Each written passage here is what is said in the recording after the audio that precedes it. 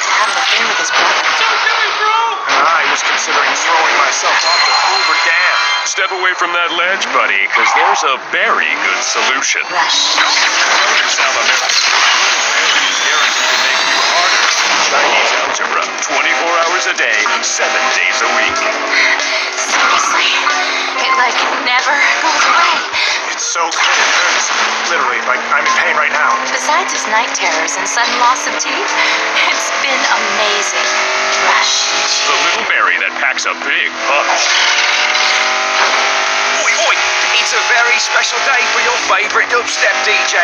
You see, it's the two-year anniversary since I came to this fantastic country from my native land of England. And it has not disappointed.